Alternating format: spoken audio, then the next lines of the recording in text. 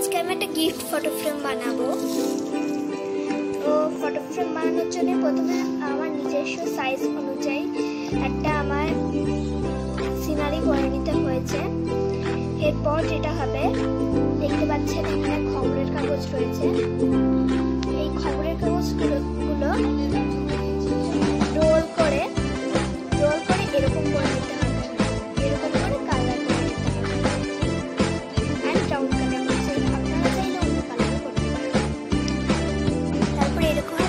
হবে দুটো জুড়ে দিতে হবে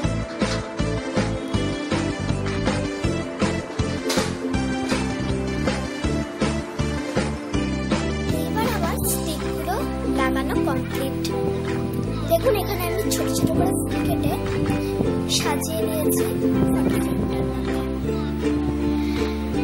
এইটা আমি আমার একটা বন্ধুর জন্য বানিয়েছি।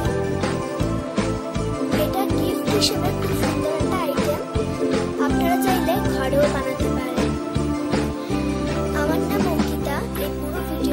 internet, and they go to